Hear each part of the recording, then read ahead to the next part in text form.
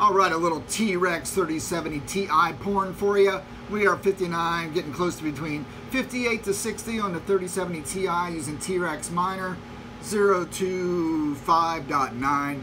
The uh, 3060 Ti's are getting tuned in to between 45 to 46. It's been running a few hours, what about 3 hours and 26 minutes right now. Uh, yeah, now we're 59.55.